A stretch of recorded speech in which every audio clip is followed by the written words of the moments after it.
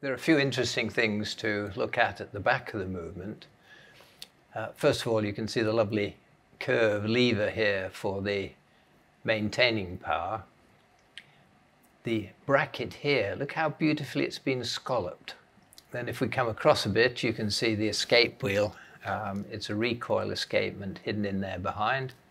And then the count wheel, this big count wheel with plenty of clearance to make sure that it's always going to work in the future. And then down at the bottom, you've got the number 333.